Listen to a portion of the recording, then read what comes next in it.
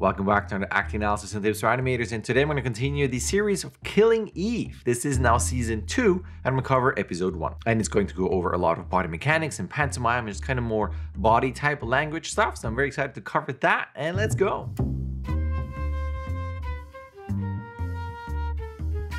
And even though I say let's go, we're not going right away because as always, I want to say hi to those people who are new to the channel. My name is JD and I do act analysis clips like these. I do animation analysis clips, I do lectures, feedback, I do a bunch of stuff. This is the time where I put in all my thumbnails and I'll tell you about the channel and you can browse around. You can subscribe if you want to, if that's something of interest. And that is the pitch as always. Now let's go. And the first clip that I want to use here is that she just heard good news from her who lied about it. Spoiler but what I want to talk about is contact. And this is another clip later on about contact. But when you have something like this where someone puts the hand on there, it's tricky because it's not just a one, two frame contact thing where you can kind of do even a little bit of IK or just FK for a couple frames and match it. This is full on contact that holds. And then you got contact here with the cheek, the chin, and more here. You got compression, you got a character. This one's being the driver of this one. So a lot of movement, a lot of complicated stuff in terms of body mechanics. That is interesting to animate, it's interesting to do. On top of that, think about she is surprised about the hug, and you can see this by this expression. And then after a while, she actually gets somewhat annoyed. And as it continues on, you can see it here, saying, ah, oh, really? And then she realizes, hmm, I could steal something from her. Hmm, now I'm happy. I love this progression just facially. So when you have something like this, and this is for a class and maybe the assignment is just you know complicated body mechanics or contact. You could do something like this. It's still cut off here so you don't have to worry about the hips and the legs and the feet and all that stuff. But this is already very complicated and from a technical point of view. And then on top of that you could add the added layer of this. So it's not just body mechanics but you see kind of a progression of a character facially so you kind of sneak in some pantomime and thought process in there and speaking of pantomime, here's another one. This would be a classic what's in the box. So I, a long time ago, had a shot where it was a box. The box gets opened by a character and the character reacts to it in whatever ways. And this is kind of the same thing. The what's in the box is this. She is taking the bandage and the, the, the band-aids and everything off the kid and she is having these type of reactions here. So this is not so much in terms of look at the acting, even though it's funny. It's more as a an idea. So if you have a what's in the box shot, and I'm going to scrub through some of these more you know horrific uh, makeup examples here. Think about this. So this could be the example. So someone's opening something, and it's potentially not good to look at. So you got these type of reactions. She does have you know some audio, just some lip sync, but in terms of just pantomime, see you can do a lot with just that in here. Ooh, yeah, and you can, I mean you could add lip sync. You can also have just this person talking. Like in his case, he asked, Is it really bad? And maybe your assignment would be, Well, let's not make it that complicated. Let's not add lip sync. Let's just keep it in terms of reaction. So your lip sync is actually just coming from him, which would be a blurred foreground. And your assignment from an animation point of view is purely reactionary, right? So you don't do what she does here. It's purely pantomime in terms of visually how she reacts to what she's seeing. And you can see all kind of stuff here. And she explains stuff to him. And even then you got this reaction here. I think an example like this, or just that type of assignment of uh, what's in the box, as in a character is reacting to something that the audience is not seeing. So we're not showing these type of uh, images here that I'm blurring out. That would be a really interesting thing to uh, to animate. So kind of think about the progression of maybe the character is kind of somewhat disgusted and, and then shocked, and then maybe towards the end almost, I don't know, maybe angry or interested. I think this, this type of assignment gives you a lot of room in terms of pantomime choices and kind of thought process of this character. And again, sticking with contact, here's another one. So I love, by the way, I love how she kind of goes and stops and it's just so excited about seeing her friend.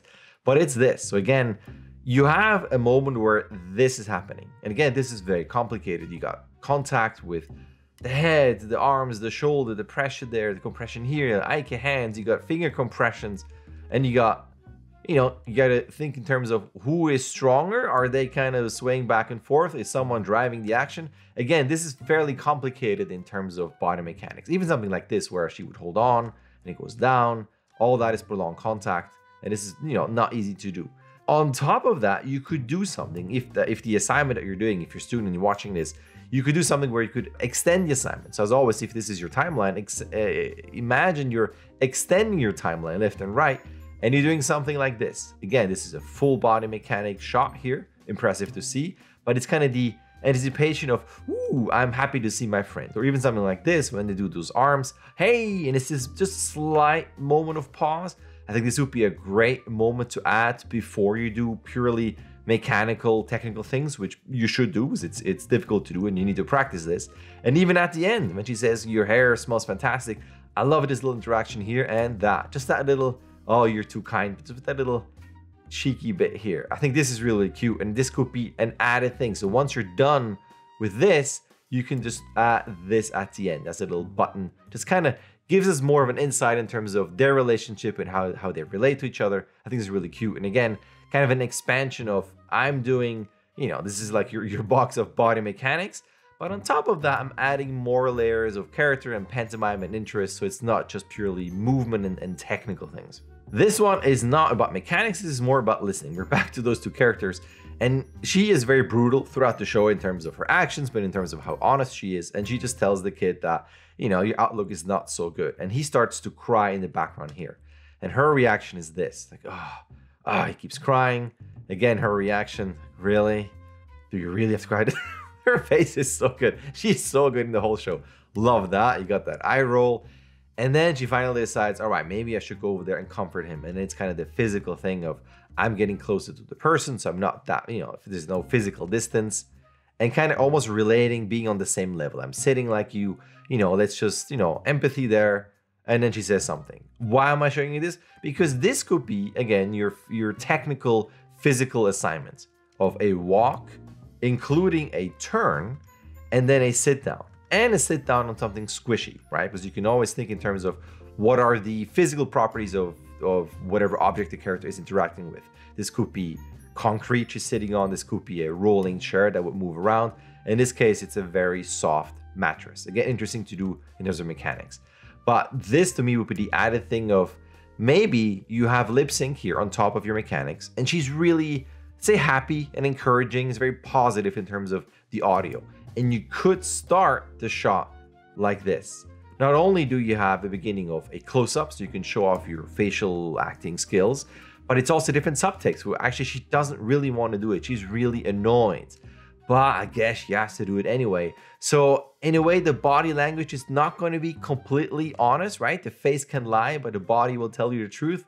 So as she goes over, the body will still have somewhat slumped over, kind of reluctant, I guess I need to help you, while the audio in the face is lying and they're you know she's just being kind to the character there or whatever you want to do uh, in your case. So this is kind of the the extra level once you're past the body mechanics. Because for anybody who studies animation again this is kind of uh, an example for new animators who might need some ideas and some help for the shots. So as you go through your your animation journey of learning you know bouncing balls and body mechanics you really have to master those. But once you're past that once you're really comfortable with the body mechanics that's when i would do something like this. So do your mechanics. They're complicated impressive to watch. You can show off your animation skills on your reel. And then on top of that, what is the character? What is their personality? And is there something where we can watch something that's beyond movement, where you go, oh, that was funny, that was cute, that was sad, just something, an extra level of character personality. And straight up segue into my workshops if you want me to help you to add those ideas and character ideas and personality traits to your mechanic shot. You know the pitch. It's time for my workshops. Link in the description with all the information. You can sign up at any time. The workshops are open for everybody at any point. And speaking of time, as always, that's the end of my clip. Thank you for watching till the very end. I really appreciate it. And that is that on my end. If by now you like things, you want to subscribe, feel free. That would be awesome. And if not, maybe you watch the next clip and I will try to convince you the next time. But that is that on my end. Thank you for watching and I'll see you in my next upload.